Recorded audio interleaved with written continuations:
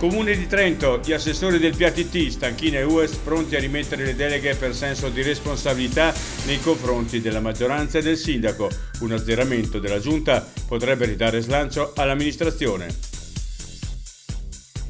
Politica, la Lega su tutte le furie con la pagina Facebook Trentino ottava provincia del Veneto.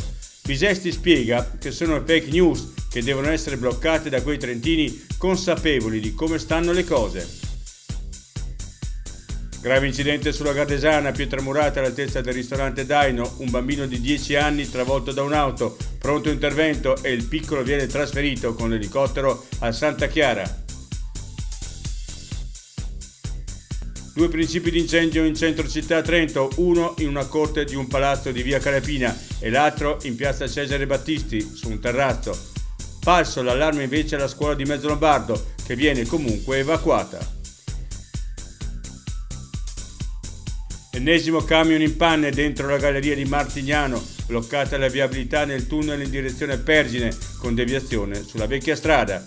A Trento invece un tir si incastra nella rotonda tra via Lorenzoni e via Veneto.